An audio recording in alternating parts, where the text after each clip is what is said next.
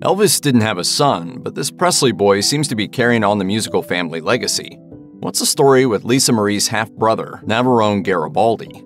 When you are part of the Presley family, you're music royalty. That was certainly true of Elvis and Priscilla's only child, Lisa Marie Presley, and some are willing to extend that status to Lisa's only sibling, half brother Navarone Garibaldi, even though he's not a blood relation to the King of Rock.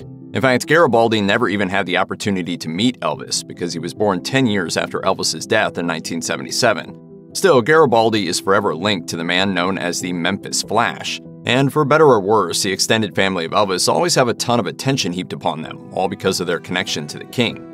After Elvis and Priscilla divorced in 1973, Priscilla never remarried, but she had several romantic relationships that included lawyer Robert Kardashian, billionaire businessman Kurt Kerkorian, and British photographer Terry O'Neill. But by far her longest relationship was with Brazilian screenwriter and producer Marco Garibaldi, a partnership that lasted more than two decades. The two met when a mutual friend introduced them in 1984. They moved in together almost immediately, and their only son, Navarone Anthony Garibaldi, was born on March 1, 1987, in Santa Monica. Like many children of Hollywood celebrities, Navarone got into some trouble as a teen, which included a DUI, but he also had a number of hobbies, including collecting reptiles and nature photography.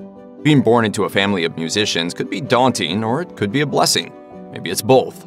But in 2013, Navarone Garibaldi co founded the band Them Guns, performing as the lead vocalist and guitarist. Them Guns considers itself a synth rock band with dance evoking progressive sound, according to the band's website.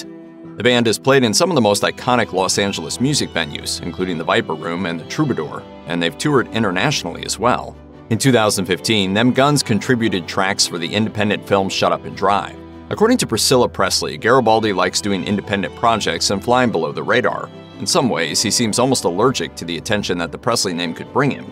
Presley told The Guardian in 2012 my son Navarone is his own person. He wants to do his own thing, and I'm really proud of him. He doesn't want to step into the spotlight, and he's always been that way. He's not riding on Elvis, and he's not riding on Lisa.